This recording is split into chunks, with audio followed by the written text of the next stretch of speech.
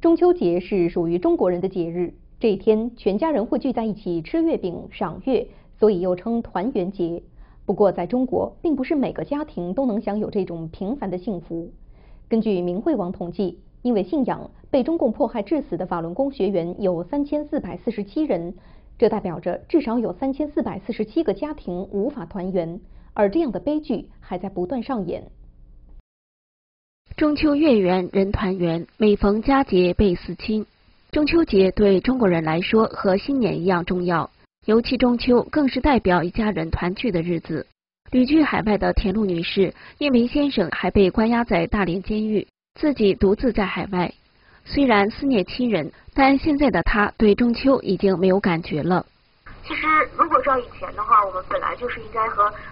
就是我们四个人，或者是更多的，我们应该在一起过中秋，然后可以看到月亮啊，然后一块吃月饼啊什么的。但是现在你让我看月亮，是月亮是挺圆的，但是月圆人难圆，就是让人感觉非常想哭。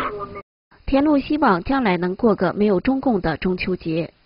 田露的先生辽宁工程技术大学毕业，曾是学生干部，并多次被学校评为三好学生。毕业后，曾获国家杰出志愿者证书，还担任大连文都考研培训学校校长助理。因为修炼法轮功，二零零九年一月十三号被中共非法抓捕。他的母亲因为过度思念儿子，一病不起，最后离开了人世。田露表示，中国很多节日都是讲究团圆的，一家人热热闹闹，开心过节。但是这样的节日，他们一家人都过不了。田路一家四人都是法轮功修炼者，因为中共迫害，让他们一家经历了妻离子散的苦难。二零零九年，田路先生被判刑三年，中共当局多次上门对他的家人恐吓骚扰。他的母亲离世时，大连监狱连他回家奔丧的权利都给剥夺了。中央民族大学文传学院教师梁波是两个孩子的母亲，原本应该过着平静的生活。也因为修炼法轮功被停职，并且不断的被打压关押。去年五月二十号，梁波被海淀公安分局的国保带走后，辗转关押在北京市第一看守所。今年五月，梁波的丈夫雪梦春见过他一次面后，到现在都没能再见面。我们倒是不难过，大家都挺好的。